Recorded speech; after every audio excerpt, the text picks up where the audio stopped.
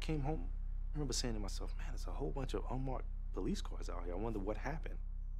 I bumps into Corey at some point, and Corey says um, he heard that they were looking for us. So him and I went upstairs. We had the detectives at his door. And they said, oh, this is one of the guys we were looking for. Check my name off. And they asked Corey who he was. We looked at the list. So, no, your name ain't on here.